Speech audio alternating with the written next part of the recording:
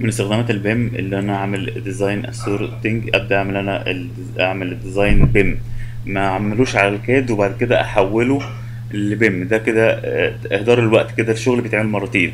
لا أنا بعمله آه، مرة واحدة على ال BIM وببدأ أتأكد أعمل design review أبدأ أراجع على ال design ده بيتم في مرحلة ال plan وفي مرحلة ال design وبتطلب ناس تكون تعرف تعمل design تقدر تعمل navigator وتبدأ تبص على الشغل وتراجع عليه وتدي كومنتات.